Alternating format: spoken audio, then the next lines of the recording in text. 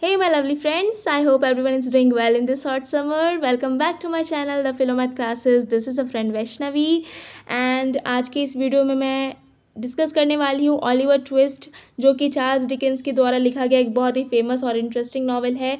उसका एक बहुत इंपॉर्टेंट क्वेश्चन है specially for the students who are studying English as their honours और सब subsidiary subject and of course as a student of Banaras Hindu university this video is specially for all of my brothers and sisters studying there and its affiliated colleges so let start इस question में हमें क्या करना है? हमें female character analysis करना है। तीन माइनर कैरेक्टर्स जो ऑलिवर ट्विस्ट में चार्ल्स डिकेंस ने प्रेजेंट किए हैं।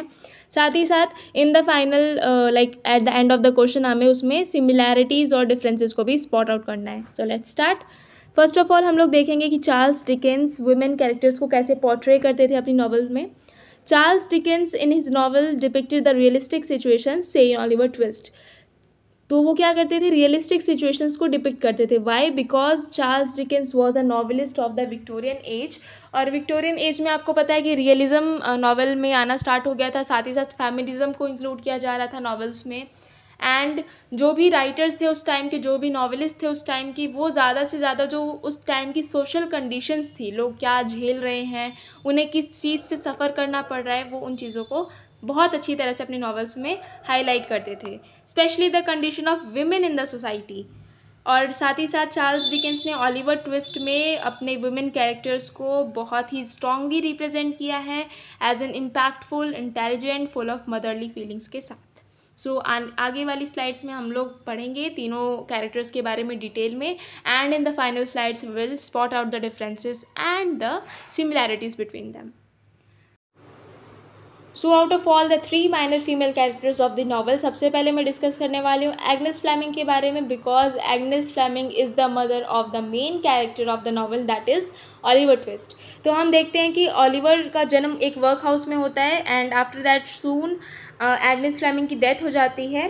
वो फाइनली क्या करती है, एक गोल्ड लॉकेट हैंड ओवर करती हैं, जिसमें जो उनकी ओरिजिनल फैमिली होती है लंदन में उनका इनिशियल होता है वी कैन से पिक्चर होती है, जिसका रेफरेंस लेकर के ओलिवर फ्यूचर में अपनी ओरिजिनल फैमिली से मिल सकता है।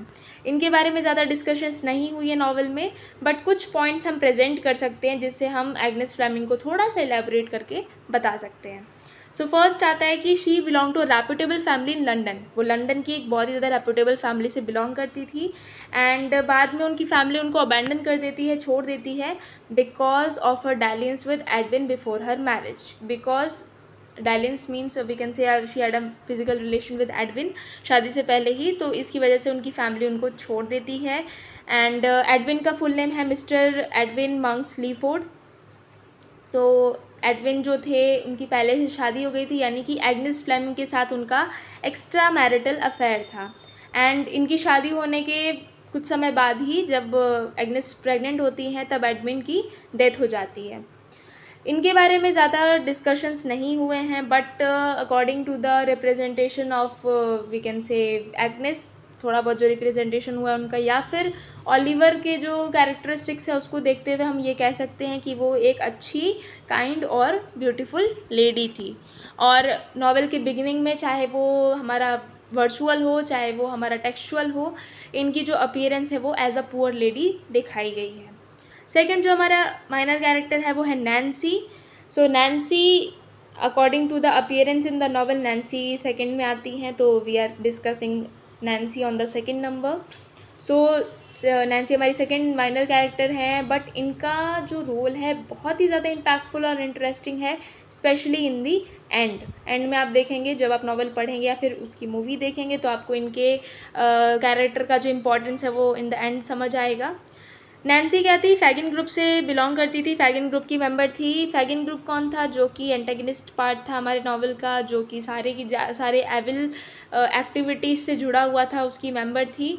ये she use to drink gin what was gin gin was a kind of alcoholic drink and उनको प्रोस्टिट्यूट माना जाता था। हालाँकि ऐसा कोई डिस्कशन आपको नावल में नहीं मिलता है ऐसा कोई प्रूफ नहीं मिलता है नावल में, जिससे हम इसको कह पाएँ कि शी वॉज़ अ प्रोस्टिट्यूट अब उनकी अपीयरेंस की बात करते हैं तो उतनी ज़्यादा सुंदर नहीं थी ये स्टाउट थी मतलब थोड़ा सा गठीला शरीर था, मोटी सी थी एंड हॉटी थी राउंड बल्बस फेस था, यानी कि भरा भरा चेहरा था।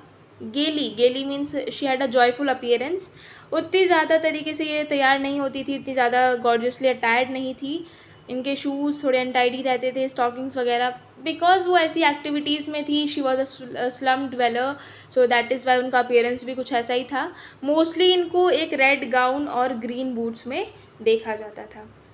फिर उसके बाद she undertakes to catch Oliver and bring him back जब ऑलिवर वहाँ से भाग जाता है तो जब प्लानिंग की जाती है फैगिन और बिल साइक्स करते हैं तो नैन्सी ही रिस्पॉन्सिबल होती हैं ओलिवर को अपने ग्रुप में, अपने जो भी वो, उनका प्लेस था वहाँ पे वापस लाने के लिए।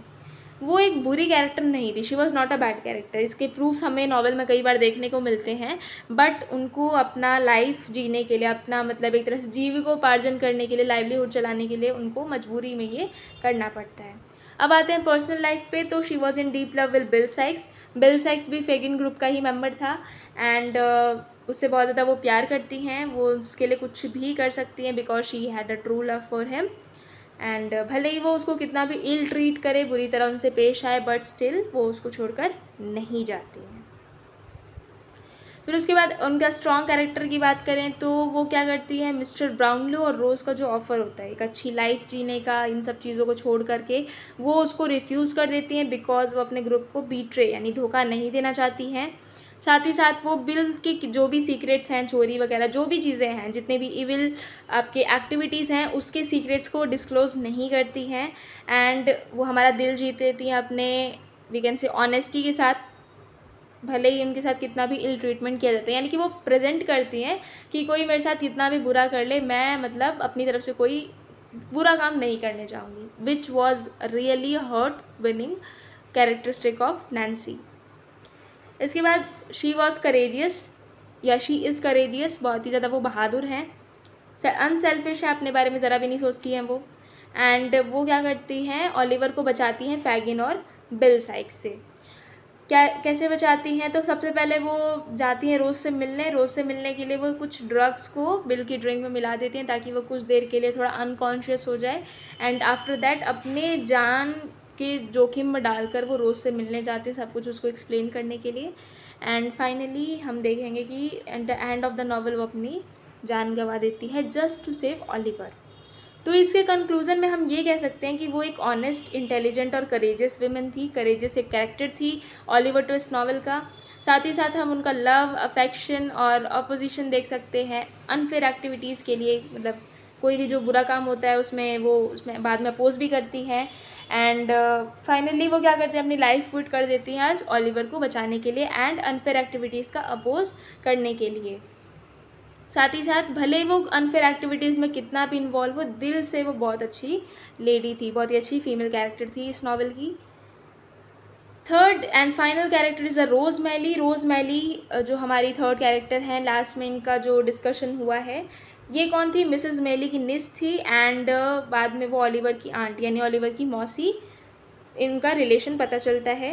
अपीयरेंस के बारे में इनका ज़्यादा डिस्कशन नहीं है, क्योंकि चार्ल्स डिकेंस चाहते थे कि एक आइडियलाइज पिक्चर रिप्रेजेंट करे एक लेडी का not the just the body मतलब कि आइडियलाइज कैरेक्टरिस्टिक्स प्रेजेंट करें we can say kindness motherly feelings इन सब का रिप्रेजेंटेशन करें।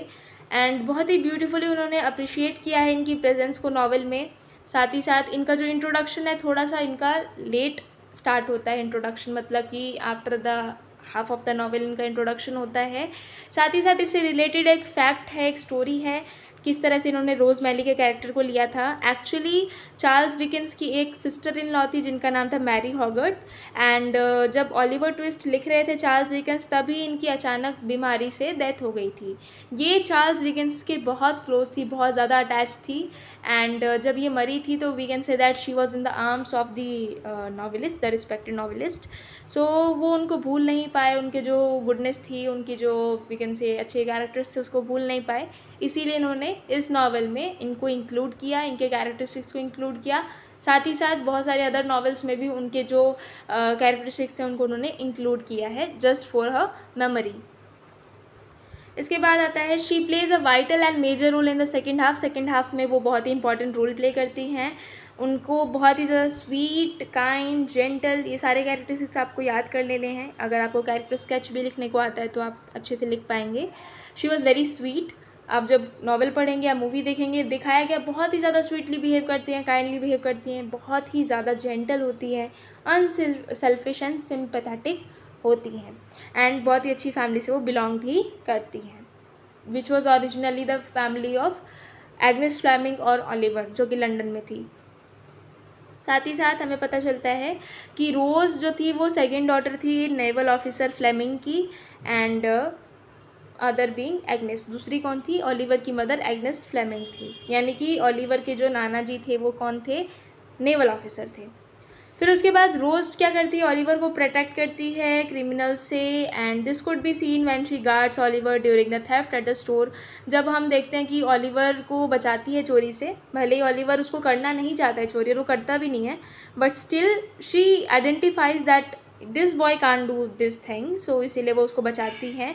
एंड वो अपने साथ उसको घर लेकर जाती हैं पूरी केयर के साथ just like a family boy उसकी केयरिंग करती हैं उसके लिए कपड़े बनवाना खाना पीना comfort everything she provides him अब आता है कंपैरेटिव स्टडी तीनों कैरेक्टर्स के बारे में हम लोगों ने डिटेल में पढ़ लिया है अब हम इनका कंपैरिजन करेंगे। सो so, सिमिलैरिटीज़ आता है पहला आता है लव अफेयर का। All the three female characters had some sort of love affair तीनों कैरेक्टर्स का कहीं ना कहीं थोड़ा या ज़्यादा लव अफेयर था। कैसे? आइए जानते हैं। पहला है एग्नेस फ्लैमिंग एग्नेस फ्लैमिंग का तो आपको अच्छे से मैंने बता दिया है कि उनका एक मैरिड मैन यानी कि एक्स्ट्रा मैरिटल अफेयर था। बाद में उनकी फैमिली उनको अबैंडन कर देती है डैलेंस की वजह से। एंड लीफोर्ड को ये ट्रूली और डीपली प्यार करती हैं, जिसकी वजह से वो अपनी फैमिली को भी छोड़ देती हैं और पुअर बैकग्राउंड को एक्सेप्ट कर लेती हैं सिर्फ़ और सिर्फ़ उनके साथ रहने के लिए। सेकेंड आती है नैन्सी नैन्सी जो थी, बहुत ही ज़्यादा डीप और ट्रू लव में थी, जैसे कि हमने पहले भी डिस्कस कर लिया है। बहुत ज़्यादा डेडिकेटेड थी बिल साइक्स के लिए। और भले ही बिल साइक्स कितना भी उनको डिसरिस्पेक्ट करता हो इल ट्रीट करता हो, वो कभी भी उसको छोड़ कर नहीं जाती है ना ही उसके राज खोलती हैं। एंड हमेशा उसके साथ रहती है, हर सिचुएशन में। साथ ही साथ वो अच्छी लाइफ जीने का, बहुत अच्छा मौका होता है उनके पास जब मिस्टर ब्राउनलो और रोज़ उनको ऑफ़र करते हैं because they also identify that Nancy could be a good lady तो वो उसको भी रिफ्यूज़ कर देती हैं ताकि वो बिल साइक्स के साथ रह पाएँ।